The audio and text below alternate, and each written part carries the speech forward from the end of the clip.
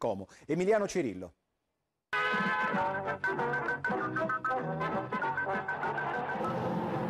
In tribuna il Magnate arrivato dalla Malesia, Nordin Ahmad, socio di maggioranza del Bari.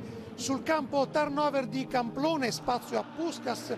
Cuoghi schiera in attacco Gerardi al fianco di Ganz, arbitra Marino di Trieste. Parte con convinzione il Bari, Puskas, stacco imperioso, scuffa in calcio d'angolo.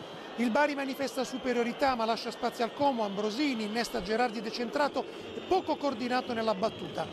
Torna a farsi intraprendente il Bari, la regia di Rosina che lancia Sansone, stoccata perentoria, Scuffè si oppone, ancora Sansone provvidenziale, il portiere del Como. Il Bari abbassa ritmo e intensità, Scapuzzi, iniziativa personale, conclusione congelata da Micai. Le immagini montate da Alessandro Calabrese ci portano alla ripresa e c'è un Como più spregiudicato. In apertura c'è subito una torsione di Gerardi controllata da Micai.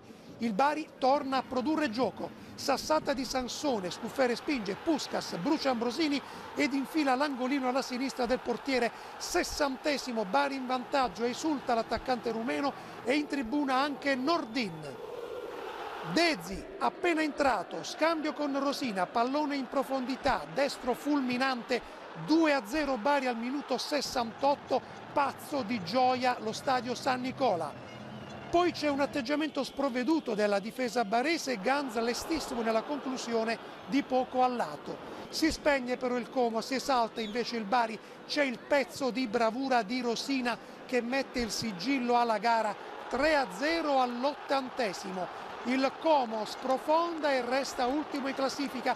Il Bari si isola al terzo posto con il sesto risultato utile consecutivo. Gol e assist al 32enne Alessandro Rosina, onestamente non si poteva chiedere di più. È lui il migliore in campo al San Nicola. Bari batte Como 3-0, linea ad Andrea Fusco. Grazie Emiliano Cirillo. Allora, che votazione dare? Ma 7 3 a 0, ma non è stato così facile come sembrerebbe dal risultato. Intanto il Bari ha trovato una continuità di risultati. Sì, bravi, bene, eh, l'aspetto fisico, la qualità delle giocate, eh, la gestione delle partite che era al limite di questa squadra, ha saputo aspettare il momento giusto per far male e, e questa è una squadra che ha grande qualità, adesso trovando anche continuità sarà veramente una squadra protagonista per questo finale di stagione. Trapani